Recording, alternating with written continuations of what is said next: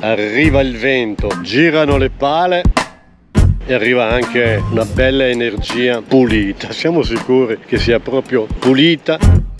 Qual è l'impatto ambientale di una pala eolica? Quanta energia produce? Posso mettermi una pala o un rotore nel giardino? Oggi voglio approfittare della presenza di un esperto per approfondire insieme a voi questa tematica. Venite con noi! Come sapete sono un grande appassionato di energie alternative. Abbiamo personaggi molto alternativi perché io vorrei capire cosa stai facendo Marco? Prendo misure Sai che io prendo sempre le misure. Eh, deve misurare tutto. Cosa stai misurando? L'altezza? No, no, no, no. Qui siamo a misurare il decibel, ossia la misura del suono. 80 decibel con Marco che chiacchiera e il ventolone là che ci fa fresco. Ecco, questo per dire che noi le vediamo girare come le girandole un po' nell'ambiente, ma non sono proprio silenziosissime. Eh? No, devo dire di no e qui ne abbiamo una sola. Invece Luca, tu che sei esperto di questi monumenti dell'architettura, come si può definire, della tecnologia. Tecnologia.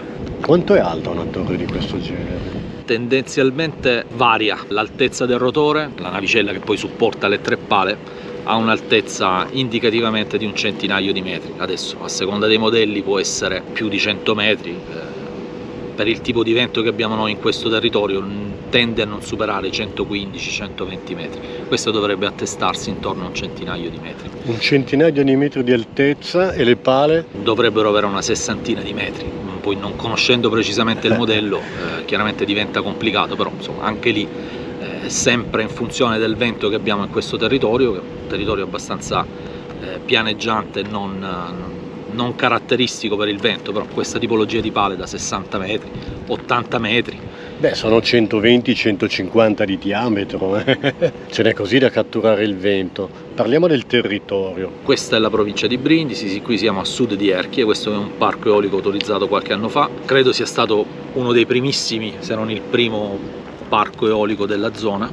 Credo che un aerogeneratore di questo tipo non sia inferiore ai 3 MW, insomma 2 MW e mezzo 3 mega, 3 mega e mezzo, adesso siamo arrivati anche a 6 mega, 7 mega, per cui considerando che su un parco eolico di 10 pale ci possono essere 30, 40, 50 mega che vanno ad impegnare insomma il territorio. Questi non sono i mega del computer, non sono i mega del computer, megawatt. So, sì, sì, significa... parliamo, parliamo, di potenza, insomma quello che eh, il vento nel far ruotare le pale genera energia che viene trasportata con queste mega strutture. Quindi l'impianto non è solamente la pala? Eh? No, no, no, no, no l'impianto è una complessità di, di attività. Eh, la pala è probabilmente sì, quello più costoso dal punto di vista economico, ma quello paradossalmente più semplice perché poi tutto il resto è elettrodotti interrati, sottostazioni elettriche con trasformatori che cambiano prima da media tensione, perché qui gli aerogenatori lavorano in media tensione,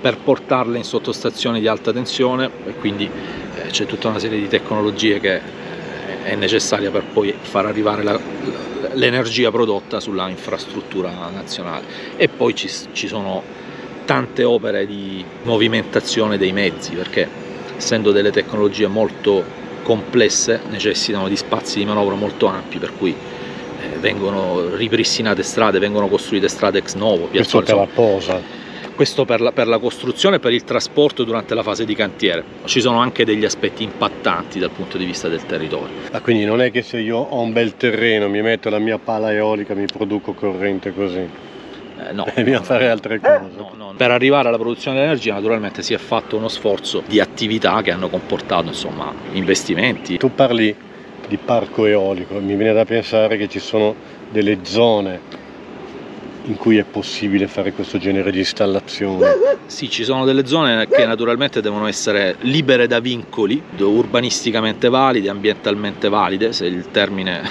mi viene, mi viene fatto passare, nel senso che ogni territorio ha una strumentazione urbanistica e paesaggistica, eh, ambientale insomma in senso lato, che eh, determina la possibilità o l'impossibilità di piazzare insomma, questo tipo di macchinari e tutto ciò che gli sta intorno, quindi cavidotto di connessione, sottostazioni, ampliamenti di strade eh, rispetto a zone dove non è possibile invece andarsi ad insediare. La fauna naturalmente non riconosce le mappe, noi eh, mappiamo delle zone e diciamo che in quella zona c'è più fauna, c'è più flora, non è che un flusso migratorio decide di stare nella, nella mappa in cui noi abbiamo tipizzato, cioè se è migratorio, se è migratorio è migratorio, quindi è chiaro che laddove non è mappato come, eh, come zona diciamo, di, di, di, nidificazione piuttosto che zona tutelata dal punto di vista della fauna eh, si può fare ma non è detto che poi in fase migratoria non crei un danno a, a volatili che sono appunto in, in percorsi migratori di, di, andata o di ritorno. Diciamo che ci sono impatti, ci sono impatti di, di vario genere, c'è l'impatto ambientale in sé per sé, quindi che, che riguarda il, il, consumo del territorio, che nel caso dell'eolico rispetto al fotovoltaico è minimo, c'è l'impatto acustico che nel caso dell'eolico è più accentuato, questo in particolare il grosso eolico, gli impianti di grossa taglia hanno comunque degli impatti acustici eh, tendenzialmente importanti, tant'è che devono essere disposti a distanze eh, di, di, sicurezza rispetto alle case. C'è l'impatto in termini di sicurezza, cioè possono esserci problematiche di rottura degli aerogeneratori o accumuli di ghiaccio, per cui la gittata, insomma la, la, la, il distacco di un pezzo potrebbe causare danno alla, alle strade o, o alle persone che ci vivono. C'è una cosa che non ho mai capito, perché mettono una pala eolica qua, una là a 400 metri, una là a un chilometro. Sarebbe più semplice metterle tutte vicine. Sì. Occupo meno ambiente. Gli enti non decidono dove andare a posizionare le pale, sarebbe più semplice se ci fosse una, una mappatura da parte del, una caratterizzazione del territorio da parte delle, delle, delle amministrazioni che si curano del paesaggio e decidessero loro una regolarizzazione del posizionamento che invece purtroppo non può avvenire perché a macchia di leopardo ci sono vincoli più o meno ovunque che comportano l'impossibilità di piazzare questi aerogeneratori secondo una regolarità che non determinerebbe l'effetto selva e quindi sarebbe visivamente più qualitativo. Ci sono anche delle regolamentazioni tecniche che impongono l'evitare l'effetto selva, di fatto invece non è possibile perché immaginando un, un, un quadrato di punti non necessariamente in tutti i punti c'è disponibilità perché magari in quel punto capita un reticolo di alta pericolo, un reticolo insomma idrogeomorfologico, un vincolo ambientale particolare, per cui lì l'aerogeneratore non si può mettere, cosa si fa?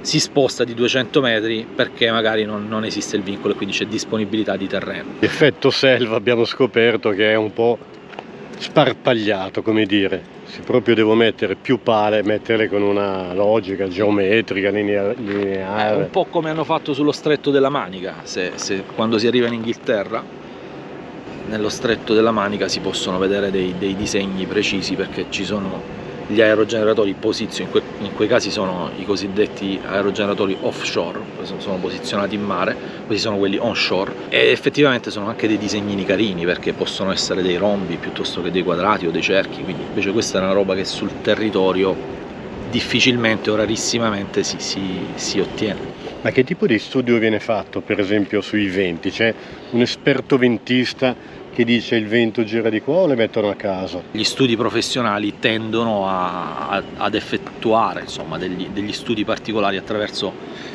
degli aggeggi che si chiamano anemometri che però non vedo ma che ci saranno tranquillamente in zona e che determinano la, le, le, condizioni del vento nell'arco di un anno per cui poi loro fanno delle medie, fanno delle statistiche e in base a questi risultati decidono se quel territorio può essere più o meno adatto ad installare un parco eolico e che altezza deve avere, che caratteristiche deve avere la pala. Insomma, però insomma, questi sono studi già un po' più specialistici che si tendono a fare gli stessi investitori prima di arrivare in un territorio. E qui in Puglia quali sono i venti prevalenti? I venti prevalenti sono tendenzialmente quelli che arrivano da nord, che possono essere la tramontana o il maestrale, oppure in questo caso l'aerogeneratore è ruotato verso sud perché c'è tendenzialmente vento di Cirocco o comunque da sud e, e questo tipo di rotazione l'aerogeneratore riesce a farla perché su di esso, in particolare sulla navicella, è posizionato un apparato, un piccolo anemometro insomma, che determina la, la, la, le condizioni del vento e non solo, anche la velocità, perché poi a velocità eccessive l'aerogeneratore deve bloccarsi perché potrebbe non avere poi la, condizione per potersi fermare e questo potrebbe creare incidenti. E quindi il rischio di quelle pale rotori fai da te qual è? Eh, eh? Io, io, che io... non hanno dei sistemi di sicurezza, magari prendono fuoco per eccesso di velocità. Cioè, se qui arriva un ciclone, cosa succede? La pala gira a mille? No, no, no, no, la pala si ferma. La pala si ferma, la superati, si ferma. superate determinate condizioni di ventosità, la pala deve necessariamente fermarsi perché eh. insomma, inizierebbe a ruotare troppo velocemente, per cui la struttura non ter- meccanicamente non ce la farebbe a tenere. Per cui eh, io pensavo ne approfittassero per fare il pieno di energia, assolutamente invece no. si bloccano per evitare di andare in surriscaldamento, sì. immagino. Possono Anche... muoversi con venti da 6, 9, 10, 12 metri al secondo, però insomma potrebbe capitare una situazione di ventosità maggiore per cui l'aerogeneratore deve necessariamente fermarsi. Ok, grazie Luca, il nostro esperto maestro del vento. Esperto è una parola grossa, appassionato. Eh, appassionato. Lo fai anche per, per, per, per lavoro comunque. Eh. Cos'è che fai di preciso?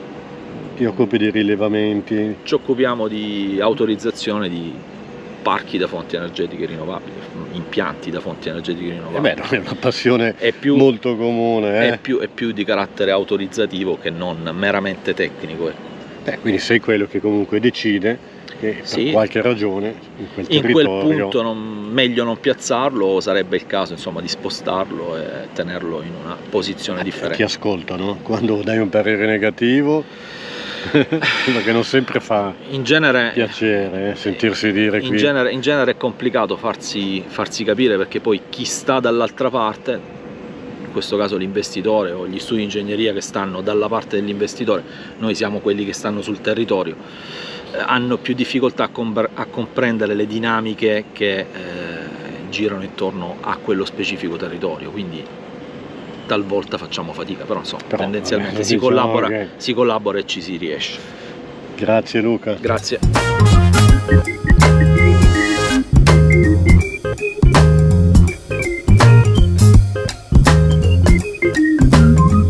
Ladies and gentlemen, benvenuti nel fantastico mondo dell'energia eolica. Dal Pablo è tutto e noi ci vediamo.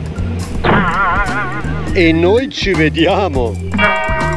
Ma quando ci vediamo?